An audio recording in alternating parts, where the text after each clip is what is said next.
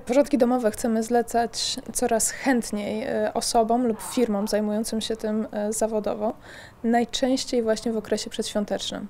Jest to związane przede wszystkim z tym, że mamy bardzo wysokie wymagania wobec samych siebie. Chcemy, żeby nasz dom wręcz lśnił czystością, a nie zawsze mamy na to ani czas, ani ochotę, ani siły, żeby tak dobrze wysprzątać mieszkanie. Dlatego z roku na rok widzimy wzrastający popyt na usługi związane z profesjonalnym sprzątaniem domów i mieszkań. Widzimy to także w naszej wyszukiwarce lokalnej panoramafilm.pl, która odnotowała w ostatnim czasie ponad 100% wzrost zapytań właśnie o firmy sprzątające domy i mieszkania. Przede wszystkim są to gruntowne porządki.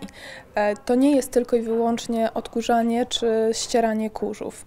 To są e, poczynając od prania dywanów, czyszczenia i mycia okien, framug, drzwi wejściowych, e, w domach jednorodzinnych czyszczenie kominków. To są wszystkie te cięższe prace, na które my nie mamy już zazwyczaj ani czasu, ani ochoty. Dzięki takiej firmie sprzątającej nie dość, że praca ta jest wykonana gruntownie, to także my mamy więcej czasu na inne przygotowania świąteczne, mamy więcej czasu na przygotowywanie prezentów, robienie zakupów czy spędzanie czasu z najbliższymi. Przede wszystkim jest to także mniej nerwów dla nas. Na rynku jest coraz więcej firm sprzątających, w związku z czym teoretycznie nie powinniśmy się martwić o e, znalezienie ani firmy, ani e, odpowiedniego dla nas terminu.